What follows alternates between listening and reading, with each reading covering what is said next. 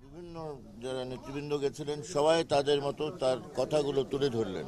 তাদের অভিযোগের কথা, তাদের নানান রকমের যে ব্যাপার নিয়ে সরকারের ব্যাপারে তারা উদ্বিগ্ন, সেগুলো তারা তুলে ধরেছেন। সবার কথা শোনার পরে সবার আমাদের প্রধানমন্ত্রী বেশ লম্বা বক্তৃতা দিলেন। লম্বা বক্তৃতা দিলেন। তবে ওখানে কোনো বিশেষ সমাধান আমরা পাইনি। আমাদের কথা আমরা বলে এসেছি ওনাকে উনি জানতে পেরেছেন। উনি উনি ওনার কথাগুলো বলেছেন ওনার মনের অবস্থা আমরা কিছুটা জানতে পেরেছি। এইটাই হলো মাননীয় প্রধানমন্ত্রী বলেছেন ঢাকা সহ সারা দেশে সভা সমাবেশ ও রাজনৈতিক কর্মসূচির উপর কোনো বাধা থাকবে না।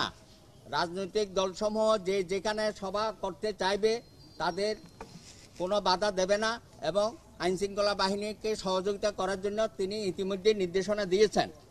আর রাজনৈতিক মামলা সম্পর্কে বলেছেন যে, রাজনৈতিক নেতা কর্মীদের সাথে ব্যাপক যে গণগ্রেপ্তার হচ্ছে বা গাইবি মামলা হচ্ছে, এগুলো আমরা তুলে ধরেছি। আমাদের নেতৃবৃন্দ তিনি বলেছেন, সেই মামলাগুলোর আপনারা তালিকা দেন, আমরা অবশ্যই সেগুলো বিবেচনা করব এবং যাতে হয়রানি না হয়, সেদিকেও আমরা বিবেচনা করব। উত্থাপিত দাবি দাবা নিয়ে ভবিষ্যতে আলোচনা অব্যাহত থাকবে বলে মাননীয় প্রধানমন্ত্রী বলেছেন। আলোচনা হয়েছে তিনি সুনির্দিষ্টভাবে কোনো কিছু বলেননি। তিনি বলেছেন যে এই বিষয়গুলো নিয়ে আরও ভবিষ্যতে আলোচনা হতে পারে। বিএনপি কি আশাবাদী স্যার? আমি তো বলেছি যে আমি ভাই খুব সন্তুষ্ট নই আমি আগেই বলেছি। সংলাপে কোনো সমাধান ছাড়া এই মুহূর্তে তফসিল না দেওয়ার ব্যাপারে আপনারা কিছু বলেছেন কিনা? আমরা তফসিলের ব্যাপারে বলেছি যে তফসিল তো তাদের দেওয়ার এখতিয়ার নেই। তফসিল দেওয়ার এখতিয়ার হচ্ছে নির্বাচন কমিশনের। আমরা সেটা বলেছিলাম সেটা উনি বলেছেন যে এটা নির্বাচন কমিশন সিদ্ধান্ত নেবে। সংসদ ভেঙে দেওয়ার বিষয়ে কি কথা হয়েছে?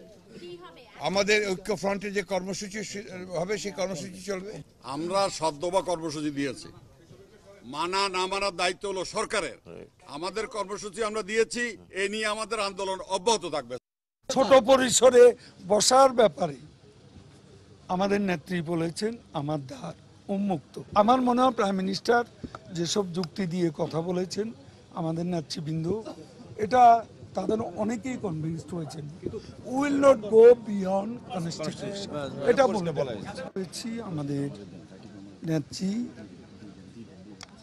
প্রধানমন্ত্রী শেখ হাসিনা, আমাদের সভাপতি, পরিষ্কারভাবে বলে দিয়েছেন, সভা, সমাবেশ তথা মত প্রকাশের স্বাধীনতা থাকবে। সেটা হলো বিদেশি পর্যবেক্ষক আসবে এবং নির্বাচন মনিটর করবে, পর্যবেক্ষণ করবে। এই ব্যাপারেও আমাদের কোনো আপত্তি নেই। তবে এবার ইভিএম হয়তো নির্বাচন কমিশন সীমিতভাবে ব্যবহার করবে।